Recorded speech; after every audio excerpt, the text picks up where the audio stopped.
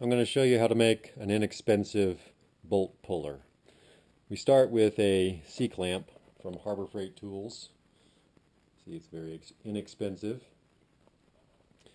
Add a short length of black pipe and a washer, 5 8 washer, and a couple of eighth inch thick 5 8 di inside diameter uh, thrust bearings. Those are uh, they're bra- they're bronze thrust bearings that have oil kind of uh, in, impregnated in them.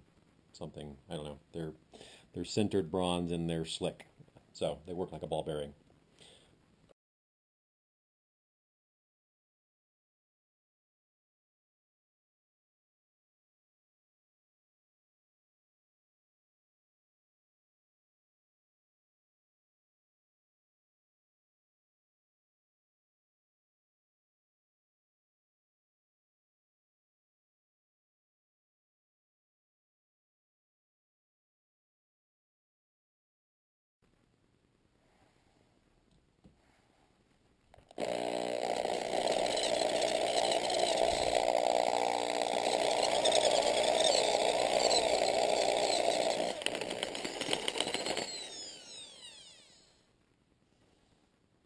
So that's about three quarters of an inch deep, you know.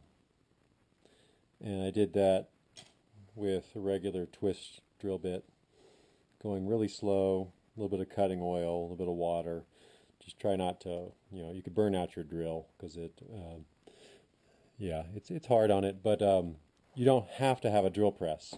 I also cut this with a hacksaw here. My first hole was off center. You can see I didn't like that. I had tapped it, but uh, a little sloppy. So I lopped this much off with a hacksaw. It doesn't take that long. So the advanced tools are not required. You don't have to have a drill press. You don't have to have a cut-off wheel like that. You could do this all with a hacksaw, a hand drill, and a vise.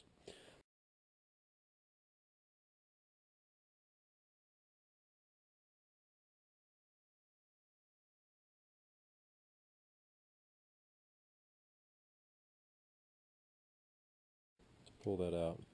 I've left the T-handle on here so that when you're struggling to get the bolt off of the tool, you'll have something to grab onto. There you have it. Pretty lightweight tool. You know, it's tapped on that end. Bolt. Spacer, about six inches long washer and two thrust bearings.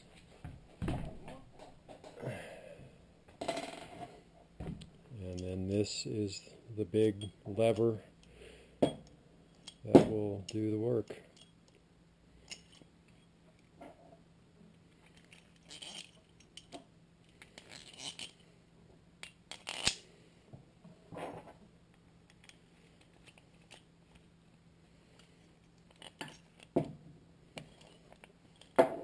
To use it.